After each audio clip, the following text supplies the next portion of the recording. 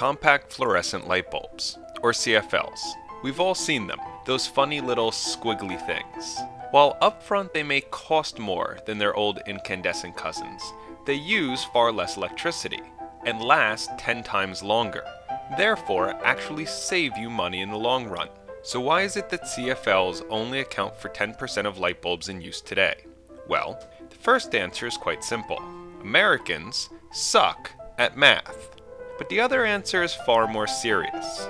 Mercury, that odd liquid metal which used to fill our thermometers and is known to be highly toxic even at low levels, is a required ingredient to make CFL shine.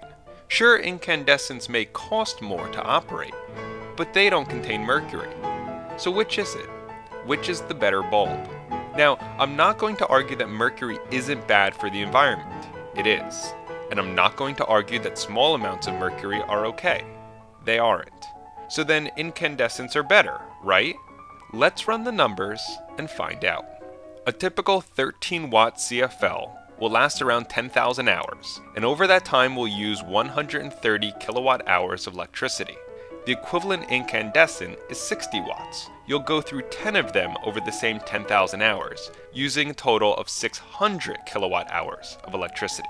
Now let's imagine the worst case scenario, meaning you're using a first generation CFL, which contains 4 milligrams of mercury, unlike newer bulbs, which contain half that. And when the bulb finally does blow, you don't recycle it, but instead simply toss it in the local landfill so all that mercury finds its way into the environment.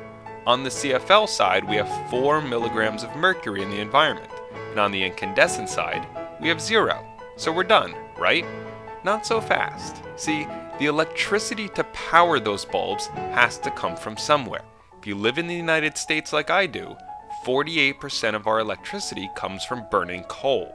So to light our CFL, we need to get 62.4 kilowatt hours of electricity from coal, and for our incandescent, we need to get 288 kilowatt hours of electricity from coal. So, well, coal contains mercury. Coal has a thermal energy of 6.8 kilowatt hours per kilogram. But since coal-fired power plants are at best 40% efficient, each kilogram of coal will provide us 2.7 kilowatt hours of electricity. So now we can convert each light bulb's electricity usage into kilograms of coal.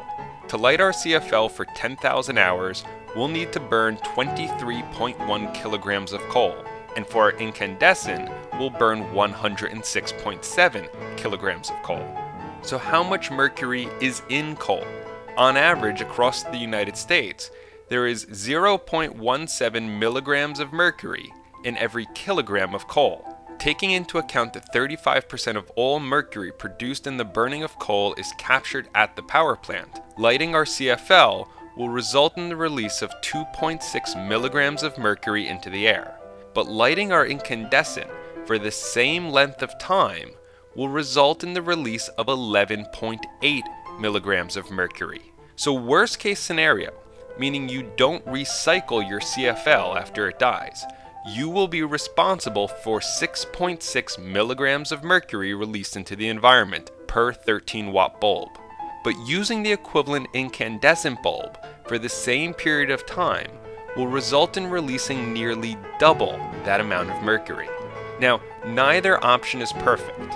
Our long-term solution must be to move towards cleaner forms of electricity such as wind, solar, geothermal, and tidal, and towards even cleaner forms of illumination such as LED light bulbs. But in the short term, today, when we get nearly half our electricity from burning coal, and incandescent and CFLs are generally our only options on store shelves, there is clearly only one winner.